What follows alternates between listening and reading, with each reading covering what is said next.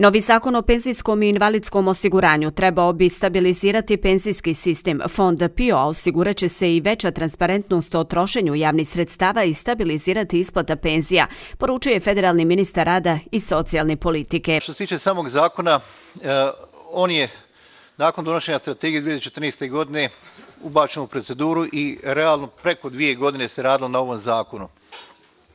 Razmatrana su brojna pitanja, pravljeni su brojni izračuni, angažovani su predsjednici Svjetske banke koji su pravili stimulacije, e, beskonačan broj sastanaka, konsultacije, dogovori, razgovori, pregovori, sklađivanja, sve je to prethodilo od donošenja ovog zakona. Radi se o jednom vrlo bitnom zakonu koji je zetno sistematično rađen, koji je razmatran u više navrata na ekonomskom socijalnom vijeću.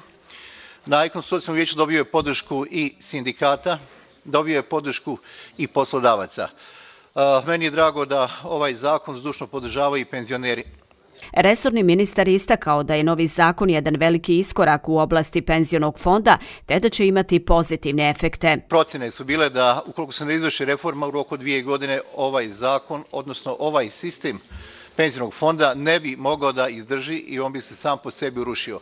Ovo je e, način da se spriši uručavanje ovog zakona, pardon, e, penzionog fonda i da jednostavno stabilizimo stanje, da uspostavimo penzijni sistem na novim pravišnim osnovama i da jednostavno ovaj, uradimo nešto što može biti vrlo kvalitetno. Ukoliko postoji potreba da se zakon mijenja, Svaki zakon se može mijenjati, naravno, nakon šest mjeseci, godinu dana, ukoliko praksa pokaže da postoje određene dostaci, zašto da ne djelovati kroz mjene dopune zakona?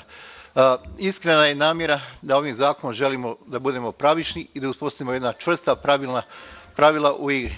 Delegati Doma naroda federalnog parlamenta na posljednja dva zasjedanja nisu se uspjeli izjasniti o novom zakonu o penzijsko-invalidskom osiguranju, koji je predložila vlada federacije BH.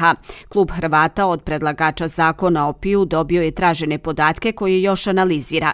Navodeći da je zakon o PIU jedan od tri ključna zakona uz zakone o radu i doprinosima, zaključeno je da u svakom slučaju treba vremena za njegovo kvalitetno donošenje.